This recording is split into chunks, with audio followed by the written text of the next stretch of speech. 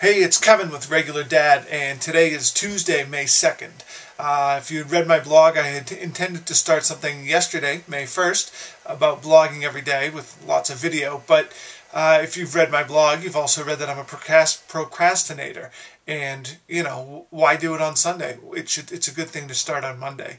Um, but anyway, here's my first video blog post, and I wanted to spend a little bit of time talking about yard work.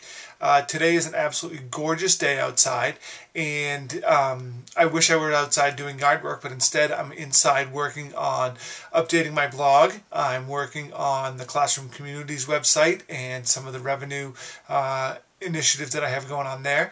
And in a few minutes, I have to leave to go take my daughter Lily to the dentist. Um, so that's what the life is like in a regular dad but I have all this yard work to do. And I just tweeted out a question to the people out there about nematodes. Uh, has anybody ever used a nematode to address the grubs in their lawn? Our yard was hit with grubs awful this year. Uh, after last year's drought, uh, the, the grass got weak, the grubs moved in, and I have huge dead patches everywhere. My neighbor suggested that I try these nematodes, which, is, which are an organic uh, approach to addressing the grubs. I guess these nematodes go in and, and poison, effectively uh, poison the, the grubs. So um, they kill them off that way without chemicals. It's okay to, for the kids to walk in the lawn.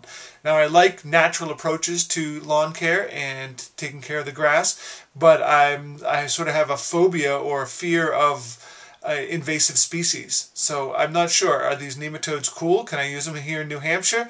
Or are they something that I should look for another approach or just go with the chemicals and keep the kids off the grass? So love to hear what you guys think.